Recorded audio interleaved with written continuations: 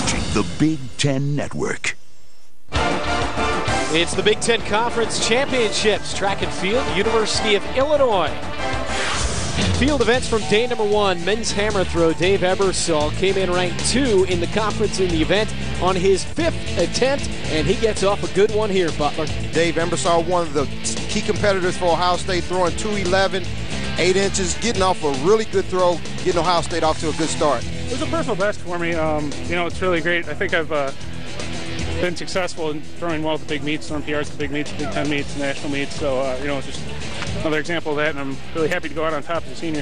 Ebersole the victory. You mentioned 211.8. Then from Purdue, it's Ben Harpino. Sean Pruitt of Michigan finishes third, followed by Andy Bastian.